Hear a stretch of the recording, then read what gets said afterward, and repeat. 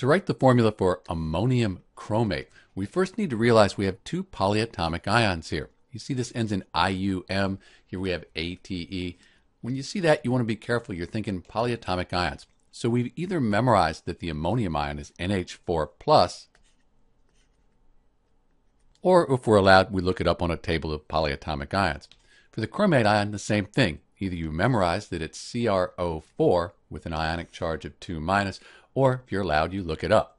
So we have our ammonium chromate here, and we have two ions. We have the ammonium ion and then the chromate ion. Two ions coming together, that's an ionic compound. So we need to make sure the charge balances.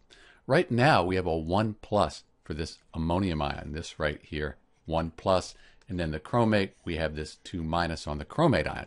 These need to add up to 0. The only way we can do that is if we have two ammonium ions. So let's put a 2 here and then parentheses. So now we have 2 times the 1 plus here, that's 2 plus, the chromate ion, that's 2 minus. That adds up to 0, net charge of 0. So this is the formula for ammonium chromate, NH42CrO4. This is Dr. B, and thanks for watching.